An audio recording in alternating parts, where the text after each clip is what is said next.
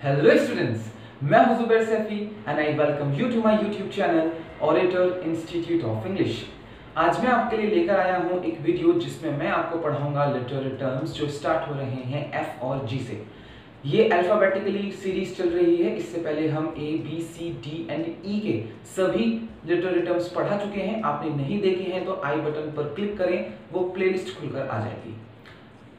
सभी जितने भी ये लिटरेरी टर्म्स हैं जो एफ़ से और जी से स्टार्ट हैं, बहुत इंपॉर्टेंट हैं और इसी लैंग्वेज में और एग्ज़ाम्पल के साथ समझाने की कोशिश की है, आपको ज़रूर समझ में आएँगे।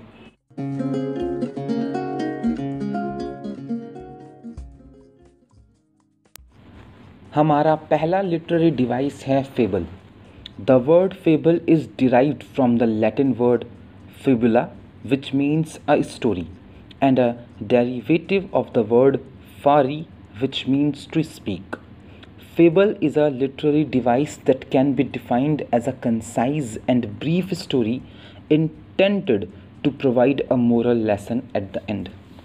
Fable जो वर्ड है वो लैटिन भाषा के शब्द फिबुला से बना है जिसका मीनिंग होता है एक कहानी और इसका डेरिवेटिव है फारी शब्द जिसका मतलब होता है बोलना फेबल एक ऐसी लिटरेरी डिवाइस है जिसे हम कह सकते हैं कि ये एक कंसाइज यानी कि संक्षेप कहानी है और इसका मकसद होता है कि कहानी के अंत में आपको एक मोरल लेसन नैतिक पाठ पढ़ाया जाए in literature it is described as a didactic lesson given through some sort of animal story.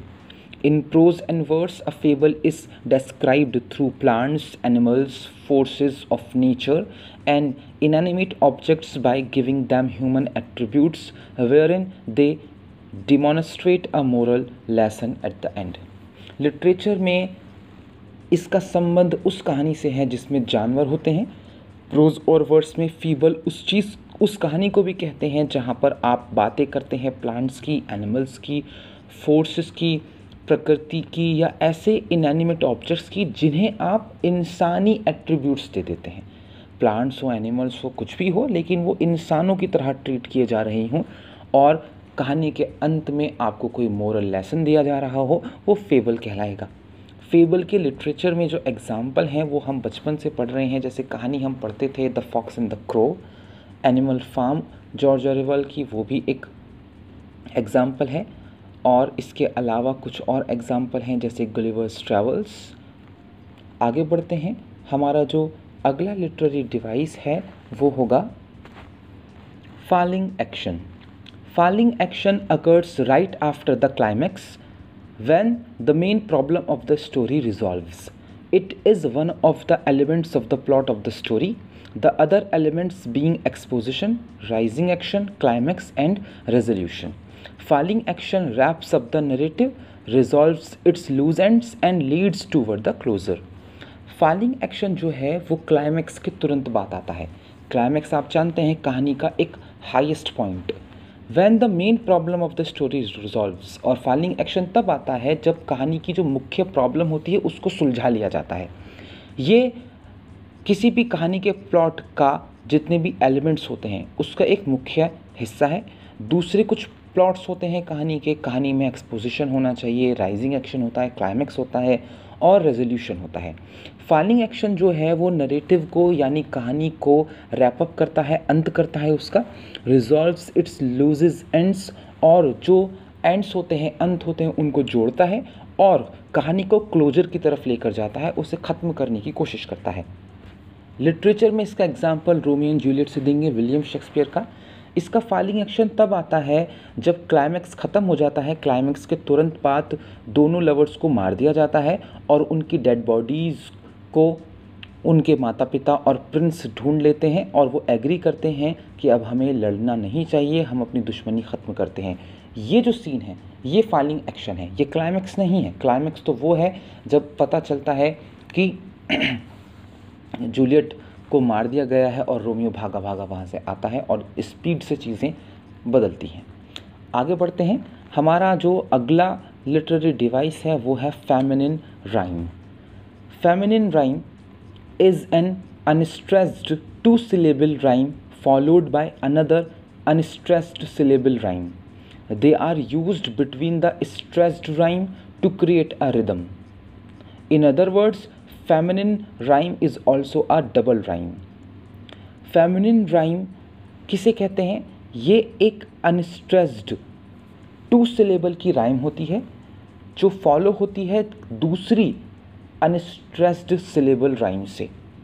और इन दोनों के बीच में रिदम बनाने के लिए स्ट्रेस्ड राइम को रखा जाता है। दूसरे शब्दों में फैमिनिन राइम को हम डबल राइम भी कहते हैं। एग्ज़ाम्पल के तौर पर अगर हम देखें राइमिंग वर्ड्स हैं फ़ैशन और पैशन यहाँ पर जो फ़र्स्ट सिलेबल्स हैं, वो स्ट्रेस्ड हैं, ठीक है? जैसे एफ़ और पी ये दोनों स्ट्रेस्ड हैं। आपको ज़ोर लगाकर बोलना पड़ेगा इन्हें एफ़ और पी यानी दोनों ही वर्ड में आपके जो होठ हैं, वो एक दूसरे को छुएँगे। ये स्ट्रेस्ड सिलेबल की निशानी है। और दोनों के लास्ट की जो राइमिंग है, वो है शन शन फ़ैशन पैशन ठीक? ये साउंड सिमिलर है? और ये दोनों अनस्ट्रेस्ड हैं। शन शन आप शन को बोलकर देखिए, आपके होठ एक दूसरे से छुएँगे नहीं। ये अनस्ट्रेस्ड हो गया। तो यही एक बहुत अच्छा एग्ज़ाम्पल है फेमिनिन राइम का। हमें इस बात का आज तक पता नहीं चल पाया है कि इस राइम स्कीम को फेमिनिन राइम स्कीम क्यों कहा गया है।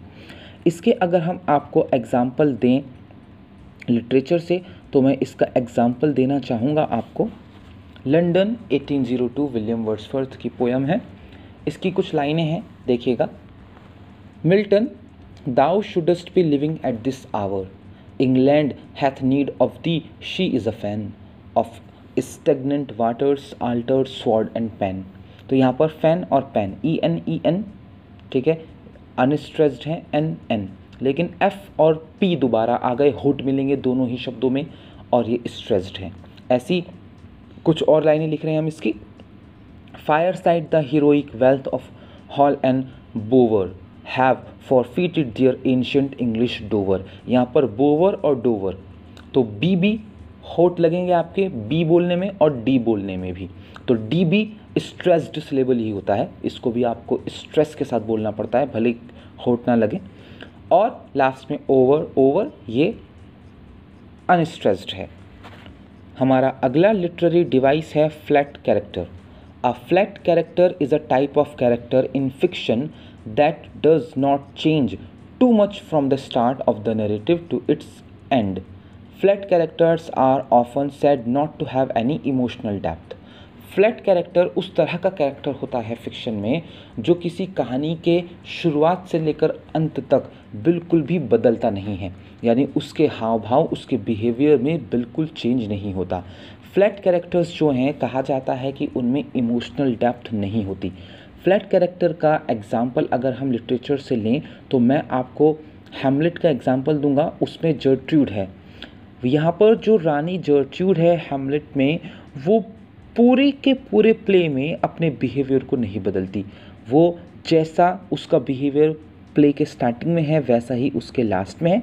वो हमेशा ही कंफ्यूज रहती है, उसे नहीं समझ में आता कि उसे करना क्या है और अपनी इसी उधेड़ बुन में वो ट्रेजिडी का शिकार होती है। हमारा अगला लिटरेरी टर्म है free free verse is a literary device that can be defined as poetry that is free from limitations of regular meter or rhythm and does not rhyme with fixed forms. Such poems are without rhythm and rhyme schemes, do not follow regular rhyme scheme rules, yet still provide artistic expression. Free verse एक literary device है जिसे हम एक poetry के रूप में define कर सकते हैं जिस जो बंधनों से लिमिटेशन से फ्री होती है और वो किसके बंधनों से फ्री है? रेगुलर मीटर के या रिदम के। वो राइम नहीं करती किसी एक फिक्स फॉर्म में। इस तरह की कविताएँ जो हैं, ना तो रिदम करती हैं, ना उनमें राइम स्कीम्स होती हैं। वो कोई रेगुलर राइम स्कीम के रूल्स को फॉलो नहीं करती, लेकिन फिर भी आर्टिस्टिक एक्सप्रेशन को रखती हैं। फ्री वर्स का लिटरेचर में अगर हम आपको एग्ज़ाम्पल दें तो वो होगा come slowly Eden, Emily Dickinson की एक पोएम हम पढ़ देते हैं आपके लिए। Come slowly Eden, lips unused to thee. Bashful sip thy jessamines as the fainting bee. Reaching late his flower round her chamber hums, counts his nectars alights and is lost in balms. तो आप इस poem को अगर ध्यान से देखेंगे तो कोई राइम स्कीम नहीं है इसकी। और कोई रिदम नहीं है। यही फ्री वर्स होता है। आगे बढ़ते हैं। हमारा जो नेक्स्ट लिटरेरी डिवाइस है, वो है फैंटसी अब ये फैंटसी किसे कहते हैं? फैंटसी की डेफिनेशन है fantasy is a form of literary genre in which a plot can not occur in the real world its plot usually involves witchcraft और magic taking place on an undiscovered planet Of an unknown word Its overall theme and setting involve a combination of technology, architecture, and language, which sometimes resemble European medieval ages. The most interesting thing about fantasies is that their plot involves witches, sorcerers, mythical and animal creatures talking like humans, and other things that never happen in real life. Fantasy एक literary genre है जिसका plot ऐसा होता है कि वो real world में हो ही नहीं सकती। ऐसी घटना रियल वर्ल्ड में हो ही नहीं सकती। इसका जो प्लॉट है वो यूजुअली विच क्राफ्ट और जादू के आसपास होता है। Taking place on an undiscovered planet of an unknown world या एक अनजाने संसार के अनडिस्कवर्ड ग्रह पर इसकी कहानी चलती है। इसकी जो थीम होती है, जो सेटिंग होती है, वो कॉम्बिनेशन होता है टेक्नोलॉजी का आर्किटेक्चर का लैंग्वेज का और कभी कभार ये यूरोपियन मिडिवल जो एज थी, वहाँ से इसका रिजेम्बलेंस मिलता है।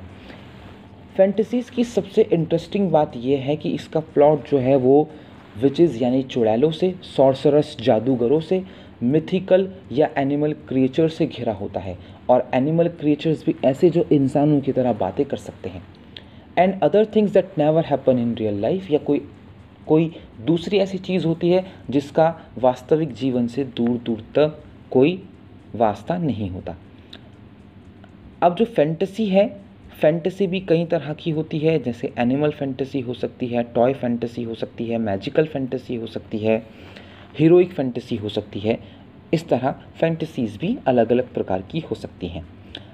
हमारा अगला जो लिटरेरी डिवाइस है, वो है fiction etymologically the word fiction has been derive from Latin word fictus which means to form how in literature Merriam Webster defines it as literature in the form of prose especially novels that describes imaginary events in people अगर हम एटिमोलॉजिकली बात करें तो fiction जो शब्द है, वो Latin भाषा के शब्द फिक्टस से बना है, जिसका मतलब होता है फॉर्म करना, यानी निर्माण करना।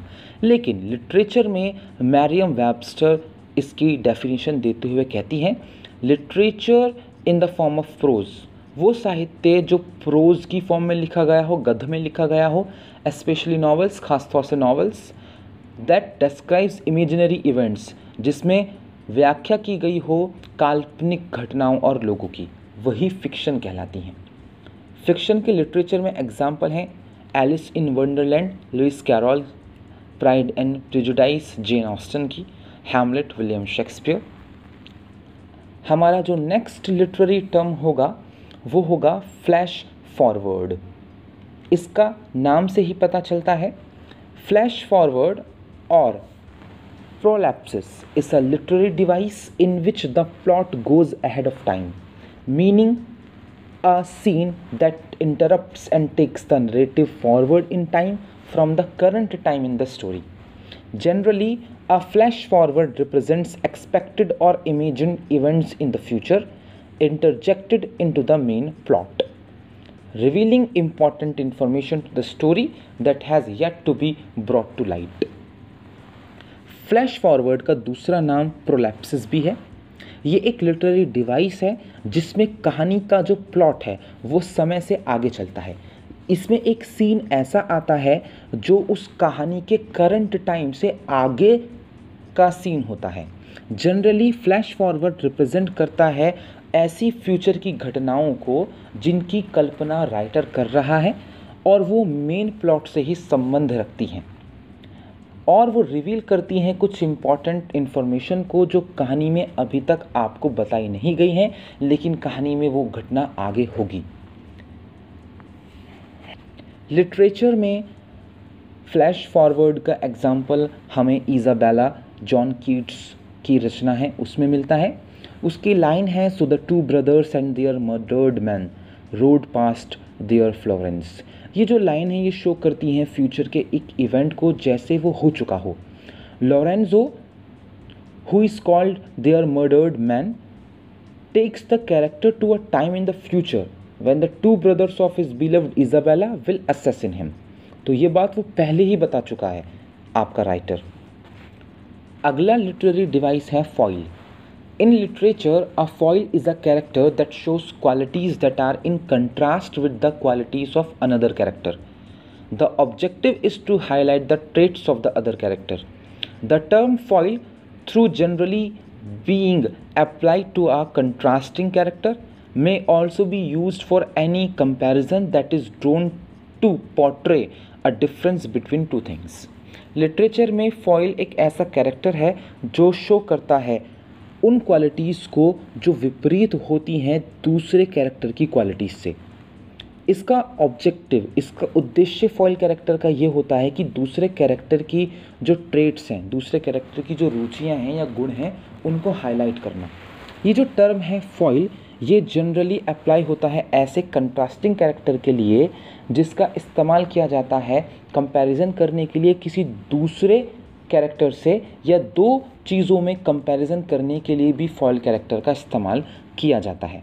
फॉइल कैरेक्टर का एग्ज़ाम्पल अगर हम लिटरेचर से दूँ तो इसका सबसे अच्छा एग्ज़ाम्पल हमें पैराडाइज लॉस्ट में मिलता है, जहाँ पर सेटन जो है एक फॉइल कैरेक्टर है, क्योंकि ये बिल्कुल कंट्रास्टिंग क्वालिटी रखता है गॉड से।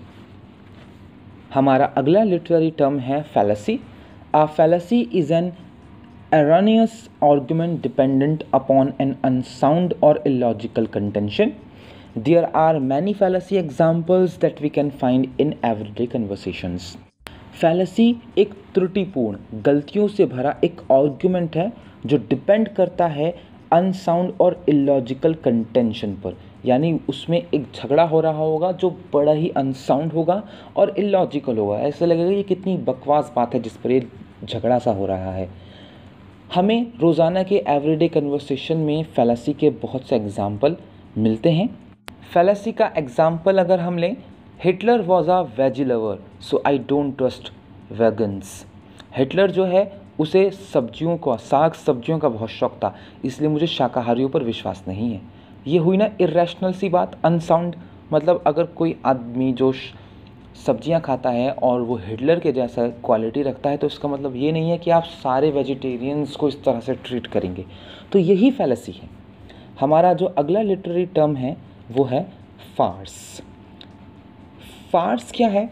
फार्स की डेफिनेशन है a farce is a literary genre and type of comedy that makes use of highly exaggerated and funny situation aimed at entertaining the audience farce is also a subcategory of dramatic comedy which is different from other forms of comedy as it only aims at making the audience laugh it uses elements like physical humor deliberate absurdity bawdy jokes and drunkenness just to make people laugh farce एक literary genre है ये एक comedy का type है that makes use of highly exaggerated and funny situations जिसमें बहुत ही ज़्यादा अतिशोक्ति से भरी हुई और बहुत ही ज़्यादा फनी सिचुएशंस होती हैं और इनका उद्देश्य होता है ऑडियंस को एंटरटेन करना और हंसाना। फार्स जो है वो एक सब कैटेगरी है ड्रामेटिक कॉमेडी की। ये दूसरी कॉमेडी की जो फॉर्म्स है उनसे अलग हैं, क्योंकि इसका एकमात्र काम है ऑडियंस को हंसाना। इसमें अलग अलग तरह के एलिमेंट्स यूज़ होते हैं, जैसे कि फ़िज़िकल ह्यूमर, यानी शरीर से ऐसे हाव भाव बनाए जाएँ जिससे हँसी आए, या डेलिब्रेट एब्सर्डिटी जान पूछ कर आप एब्सर्डिटी करें, हास्यास्पद चीज़ें करें बाउडी जोक्स अश्लील और भद्दे जोक्स मारें, या ड्रंकननेस शराब पीने की एक्टिंग करें ताकि लोग हंस सकें। हमारा अगला लिटरेरी डिवाइस है frame story frame story is the story set within a story narrative और movie told by the main or the supporting character. A character starts telling a story to other characters or he sits down to write a story telling the details to the audience. Frame story एक ऐसी कहानी है जो कहानी के अंदर कहानी होती है या नरेटिव के अंदर कहानी होती है मूवी के अंदर कहानी होती है जो सुनाई जाती है किसी मेन या सपोर्टिंग कैरेक्टर के द्वारा यहाँ पर जो एक कैरेक्टर है, वो कहानी सुनानी शुरू करता है दूसरे कैरेक्टर को, या वो बैठकर कहानी लिखना शुरू करता है और वो सारी डिटेल्स ऑडियंस को बताई जाती हैं। फॉर एग्ज़ाम्पल अगर आपने टाइटैनिक मूवी देखी हो तो टाइटैनिक मूवी का जो सीन है फ़र्स्ट उसमें एक बूढ़ी औरत है जो अपनी कहानी बताना शुरू करती है और कहानी तुरंत कई साल पहले चली जाती है और कहानी टाइटैनिक की शुरू होती है। तो वो कहानी क्या है? मूवी में एक कैरेक्टर है जो कहानी सुना रहा है। तो ये जो मूवी में कहानी सुनाई जा रही है, ये फ्रेम स्टोरी कहलाएगी। हमारा अगला लिटरेरी टर्म है जॉनर या जनर दोनों प्रोनाउंसिएशन ठीक है? Genre means a type of art literature और music characterized a specific form content and style for example literature has four four main genres drama, fiction and non non-fiction. Genre की हिंदी होती है शैली। तो जॉनर ये एक टाइप है, art का, लिटरेचर का, म्यूज़िक का, जो कैरेक्टराइज्ड करता है स्पेसिफिक फॉर्म को, कंटेंट को या स्टाइल को। एग्ज़ाम्पल के तौर पर लिटरेचर के चार जॉनर होते हैं पोइट्री ड्रामा, फिक्शन और नॉन फिक्शन यही जॉनर है। जैसे आपको म्यूज़िक, अब म्यूज़िक के भी सब जॉनर होते हैं कि मुझे पॉप म्यूज़िक पसंद है, मुझे सैड म्यूज़िक पसंद है। तो जॉनर कहते हैं शैली। जिस, और शैली का मतलब क्या है? कि किस कंटेंट का है, क्या फॉर्म है और क्या स्टाइल है। हमारा अगला लिटरेरी डिवाइस है gallows humour gallows humour is a type of humour that arises from stressful traumatic और life threatening situations often in circumstances such that death is perceived as impending and unavoidable. It is similar to black comedy, but differs in that it is made by the person affected. Gallows humour एक तरह की humour है, एक तरह की हँसी है ये हँसी ऐसी जगह से उठकर आती है, कैसी जगह से स्ट्रेसफुल सिचुएशन बहुत तनाव वाली सिचुएशन ट्रॉमेटिक सिचुएशन चल रही हो, या लाइफ थ्रेटनिंग सिचुएशन हो कि जीवन के लाले पड़े हुए हैं। Often in circumstances such that death ये ऐसी परिस्थितियों में निकल कर आती है हँसी, जैसे मौत की सिचुएशन चल रही हो कि मौत आनी ही आनी है और आप मौत को टाल नहीं सकते। इसका एक सटीक एग्जांपल मैं आपको देता हूँ। आपने अगर हॉलीवुड मूवी देखी हो 300 उस मूवी में एक सीन है और वो सीन क्या है कि एक योद्धा, एक वॉरियर दूसरे वॉरियर से कहता है कि हम छाँव में लड़ेंगे। ठीक? अब अगले दिन सामने की जो दुश्मन की सेना होती है, वो इतने तीर छोड़ती है, इतने तीर छोड़ती है कि सूरज ढक जाता है। ठीक है? और वो अपने जो शील्ड होती है, उससे अपने आप को बचाते हैं, ठीक? और सब हँसते हैं अचानक से उस सिचुएशन में। तो और वो कहते हैं, हँसते हुए कि हमने कहा था ना कि हम छाँव में लड़ेंगे। तो ये है मतलब एक तो जान पे बनी हुई है। कि इतने सारे तीर आपकी तरफ़ आ रहे हैं, लेकिन आप हंस रहे हैं उस सिचुएशन में। इस तरह का जो ह्यूमर होता है, जो इस सिचुएशन में निकलता है, वो गैलोस ह्यूमर कहलाता है। आगे, हमारा जो अगला लिटरेरी टर्म है, वो है जॉर्जियन पोइट्री अब नाम से लगेगा कि जॉर्जिया देश की पोइट्री को शायद जॉर्जियन पोइट्री कहते हैं, लेकिन ऐसा नहीं है। Georgian poetry was the title of a series of anthologies showcasing the work of a school of English poetry that established itself during the early years of the reign of King George V of the United Kingdom. Georgian poetry title है किसका title है ये उन anthologies की series का anthologies कहते हैं काव्य संग्रह तो ऐसी कविताएँ ऐसी किताबें जिसमें बहुत सी कविताएँ लिखी हैं तो ऐसी कई सारी एंथोलॉजी छपी होंगी। तो उस सीरीज़ का नाम है जॉर्जियन पोइट्री और ये जो सीरीज़ हैं, ये जो एंथोलॉजीज़ हैं, ये किसने लिखी थी? ये लिखी थी एक स्कूल ने। और ये स्कूल था इंग्लिश पोइट्री का, जिसे स्थापित किया गया था किंग जॉर्ज फिफ्थ के जो काल था, उससे कुछ साल पहले यूनाइटेड किंगडम में। एडवर्ड मार्श जो हैं वो इस सीरीज़ के जनरल एडिटर थे और ये जो थे centre of the circle of Georgian poets भी हैं। ये जितने भी जॉर्जियन पोएट्स हैं, ये उसके मुखिया भी हैं। इस, इन पोइट्स में जो मुख्य नाम हैं, उसमें एक रूपर्ट ब्रूक भी हैं और ऐसा माना जाता है कि जॉर्जियन पोइट्री जो है वो मज़ाक मज़ाक में स्टार्ट हो गई थी। एक बार ये बैठे हुए थे सारे के सारे लोग और उन्होंने कहा था जोक में कि चलो एक ऐसी कविताएँ लिखते हैं जो पैरोडी हों। और ये डिस्कशन जो है मज़ाक का सीरियस डिस्कशन में बदला और हमें जॉर्जियन पोइट्री मिली। अगला लिटरेरी टर्म है goliard. The goliards were a group of clergy who wrote bibulous satirical Latin poetry in the 12th and 13th centuries.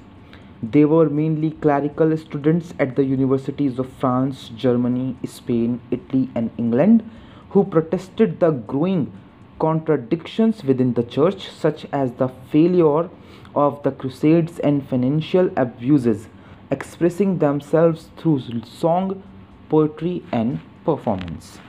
Goliards एक ग्रुप का नाम है और ये ग्रुप था क्लर्जी यानी पादरियों का, जो लिखा करते थे बाइबलस यानी बाइबल के ऊपर या बाइबल से लिए गए एब्स्ट्रैक्ट्स के ऊपर। सटायरिकल लैटिन पोइट्री लिखा करते थे ये बारहवीं और तेरहवीं शताब्दी में। अगर आपसे क्वेश्चन कर लिया जाए कि गॉलियार्ड्स कौन थे तो गॉलियार्ड्स दरअसल ये क्लैरिक्स थे, ये क्लर्जीज थे, यानी ये पादरी थे। ये दरअसल क्लैरिकल स्टूडेंट्स थे ये पादरी बनने की पढ़ाई कर रहे थे और ये पढ़ते थे फ्रांस, जर्मनी, स्पेन, इटली और इंग्लैंड की यूनिवर्सिटीज़ में और ये प्रोटेस्ट कर रहे थे, जब ये देख रहे थे कि चर्च में थोड़ी गड़बड़ चल रही है, क्योंकि उस वक्त चर्च जितने धर्म युद्ध चल रहे थे, उसमें हार रहा था और चर्च जो है फाइनेंशियल एब्यूज़ भी कर रहा था, यानी पैसों को बेफालतू में और बेकार जगह पर खर्च कर रहा था। तो इन सारे स्टूडेंट्स ने जो आने वाले टाइम में पादरी बनने वाले थे उन्होंने इस तरह की पोइट्री और सॉन्ग लिखे जिसमें वो चर्च को क्रिटिसाइज़ कर रहे थे। हमारा नेक्स्ट लिटरेरी टर्म है gothic fiction gothic fiction is a genre of literature that combines elements of both horror and romance. As a genre, it is generally believed to have been invented by the English author Horace Walpole with his 1764 novel The Castle of Otranto. Gothic fiction एक genre है literature का जो combine करता है दोनों के ही elements को हॉरर और रोमांस यानी एक ऐसी कहानी जिसमें भूत भी हो और एक बहुत प्यारी लव स्टोरी भी हो तो ये जॉनर गॉथिक फिक्शन कहलाता है। ऐसा माना जाता है कि गॉथिक फिक्शन का इस्तेमाल सबसे पहले हॉरिस वेलपॉल ने किया था, जब उन्होंने 1764 में अपना एक नावल लिखा था, the Castle of Otranto. So I hope आपको ये लिटरेरी टर्म समझ में आ गए हैं। मिलते हैं नेक्स्ट वीडियो में। तब तक के लिए बाय चार काम ज़रूर करिएगा। लाइक कमेंट शेयर और सब्सक्राइब बाय